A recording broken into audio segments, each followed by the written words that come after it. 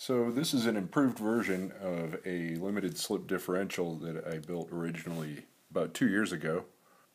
Put a link to that right up there.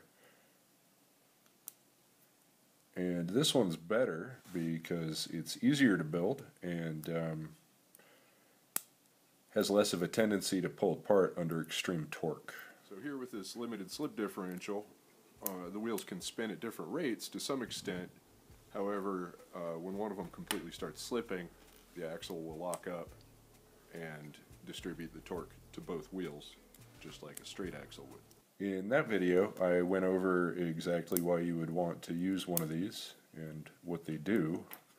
So if you're interested in that, you can check that video out.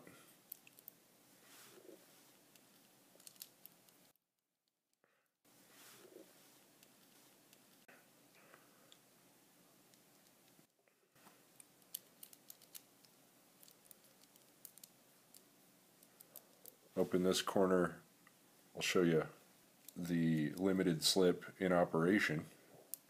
It's from that other video. In this clip here, the car doesn't have a tire on one of the wheels, so if that was a regular differential, that wheel would just be sitting there spinning and you wouldn't be able to push the car up the hill. But the limited slip differential has locked up and it's delivering power to both sides.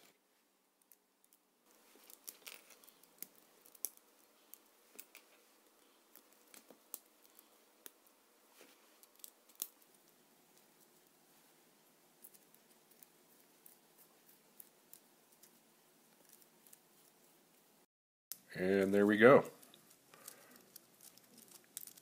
A limited slip differential. There it's locked. There it's locked. And there it's slipping. Alrighty. Thanks for watching.